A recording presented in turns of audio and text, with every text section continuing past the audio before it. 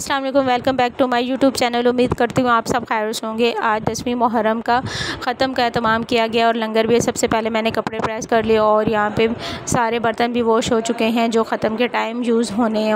بھائی، ابو کزن یہاں پہ سب لاکھ لاکھ پڑھ رہے ہیں اور ایک سائڈ پہ لیڈیز قرآن پاک پڑھ رہی ہے۔ تو ہم لوگوں نے عصر کے ٹائم کا ٹائم دیا ہے جینٹس کو۔ عصر کی نماز کے بعد سارے جینٹس بھی آ جائیں گے اور یہاں پہ ہماری دیگیں بھی آ گئی ہیں۔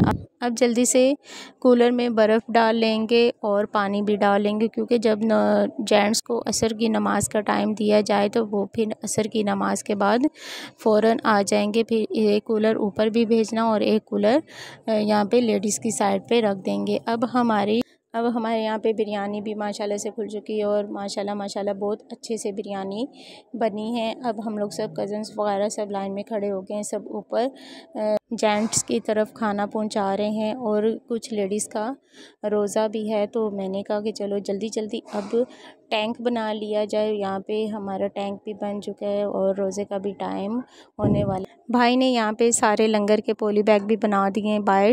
تقسیم کرنے کے لیے کرنے کے لیے اب بڑے پولی بیگ میں ایک ایک کر کے ڈال لیتے ہیں۔ ہم لوگ چوبیس پہنچ چکے ہیں اور یہاں پہ سارے روڈ بھی سنسان ہیں اور مارکیٹ بھی سنسان ہے تو آپ کو پتہ ہے کہ جتنا دل سے لنگر تقسیم کیا جائے، اللہ پاک اور اتنا اضافہ کرتے ہیں رزق روزی میں۔ جب بھی آپ لنگر وغیرہ بنایا کریں، جب بھی آپ قرآن خوانیاں وغیرہ کیا کریں، دل سے کھانا وغیرہ بنایا کریں، اور اللہ کی راہ میں تو جتنا بھی دیا جائے اتنا ہی کم ہے۔ اور یہاں پہ سب لوگ اپنی منتیں وغیرہ، سب کچھ یہاں پہ دعائیں وغیرہ مانگ رہے ہوتے ہیں۔ تو وہ تو اپنا اپنا عقیدہ ہے۔ تو اللہ پاک ہر کسی کی مشکل آسان کرے، ہر کسی کی دعائیں قبول فرمائے۔ ہماری، ان کے ساتھ ہماری بھی دعائیں قبول فرمائے۔ آمین، اللہم آمین۔